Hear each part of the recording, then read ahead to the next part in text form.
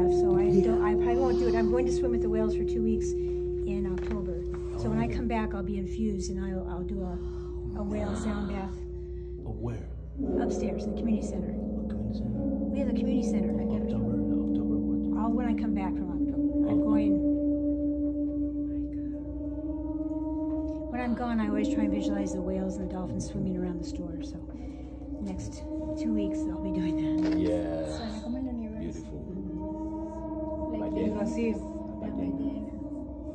The whales, the whale frequencies. So I try to bring the energy of the whales back. Yeah. Back on How the was 28th. it? I don't know. It's a, and exactly what's the sun forsake me and the moon forgave me.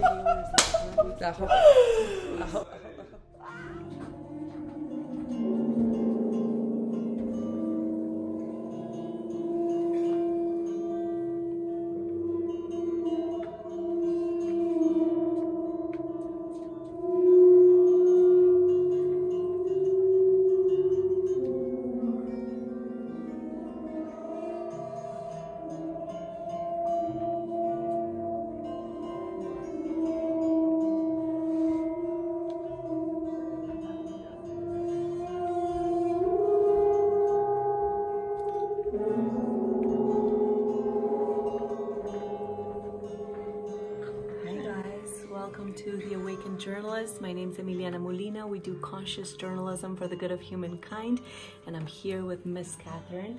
She's a tonal sound healer connected to the whales and the dolphins, and she's also the owner of Soul Connection here near Mount Shasta. She was just playing this beautiful gong for us, which you can tell us a little bit more about.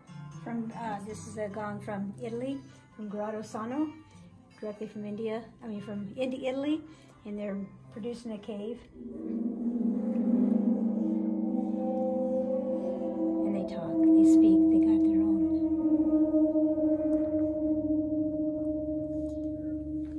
They have their own language, so tell us a little bit more about that language. It's, it's the sound of the whales from what I can feel and Well, they're hear. deep, they're ancient. Even when I'm in the redwoods, you have the same ancient feeling as being with the, the whales in, in the redwoods because they're ancient. They just hold the record keepers and they hold the balance for the planet. They hold the balance of the planet. For the I love planet, that. For the planet. yes. Tell me a little bit more about that. How do they hold that balance for the planet? They're just so anchored. They're just so massive and anchored, and they have so much, uh, but groundedness and just. But definitely, you can't get to the whales, go to the redwoods. it's the same energy to me. It really is. So, what does this gong do for us when we hear it? I mean, I can feel the energy in my body, but you have the wisdom. Of, you're the wisdom keeper of these gongs. So no, what it is it? just you know, sound is profound. I mean, you think about our bones all the way to our thoughts. It's all vibrations, and so sound affects us greatly. And there's no wrong way to have a sound come out if you're going to tone something because it is what it is, and it's a good divination tool with your when you do a long tone. And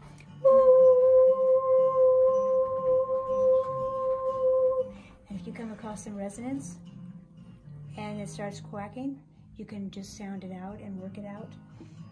So sound's so profound, and it's a, we always have it with us. You have it with us all the time. It's our voice, and then, like I said, again, there's no wrong way to do it. If you can close your eyes, and any element in your body, you can close your eyes, and if you feel a swell in your throat, open your mouth, let it come out, and it's going to transform as it as it changes and transmutes the energy and transforms it.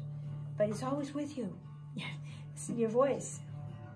So don't be intimidated. It's just, you know, the child babies trimo, they just, you know, let it all out. And it will transform. And remember, there's no wrong way to do it. I love that. Miss Catherine, I had the privilege of swimming with the whales uh, back in Colombia in Nuquí about two years ago, and I heard them un- underwater. Yes.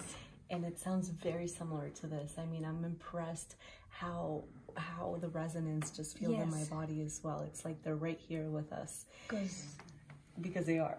They are. Um, and I want to also ask you, shifting a little bit from the whales and from sound, you're always dressed in purple here in your store in front of Mount Shasta uh, in California, and you are very connected to the Violet Flame and Saint Germain. Yes. Can you tell me a little bit about what this Ascended Master means to you in your life? Yes. Well, Saint Germain's very prominent here. And back in the 40s, he appeared to Guy Ballard the Mountain. and um, people also will come down and take show share pictures, and all of a sudden there's violet. There's a violet flame. The violet flame is the seventh ray, then the transmutation. You can invoke the violet flame, cause, effect, or record memory back to your first embodiment matter, and visualize any situation. Close your eyes and visualize the violet flame. That's the gift of the Aquarian master.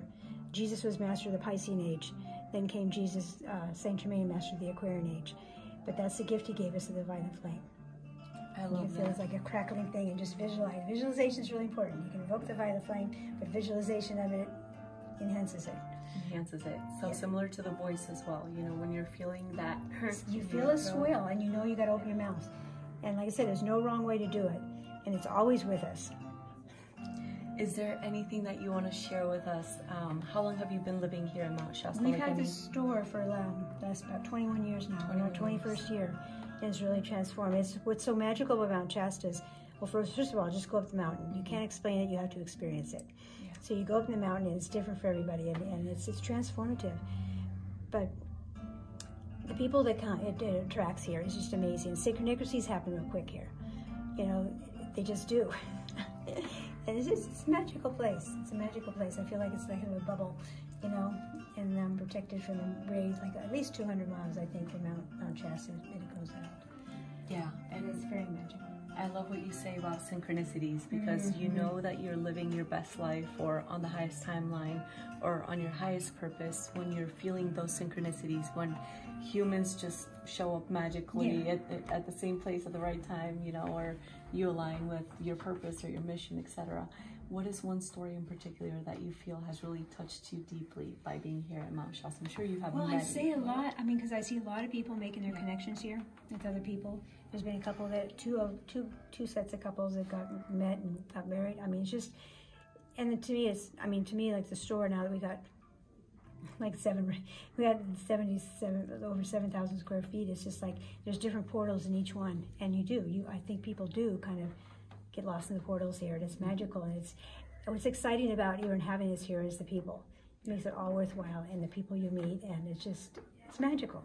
It's just magical, and it's so exciting to hear people come down and share their stories, and especially having a lot of violets in their pictures and this and that, and seeing these.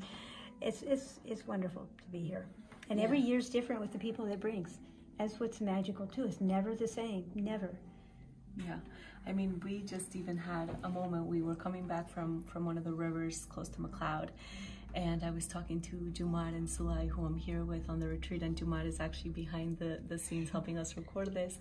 And I just started tearing up looking at the mountain because I said, I am so afraid of going back to my old life. Like the new person that touched this mountain and climbed up mm-hmm. Mount Shasta is a completely different version of me and I I can't imagine myself going back to that old life Well, you know, there's no time and space, so you have a point of reference now. When you've been here, you can come any home, anytime. exactly. Yeah. And that's what it feels like, a coming home to Yes. the mountain Yes. and coming home to ourselves. You have that essence you can carry out, you know, out into the world, and also go back, come back in.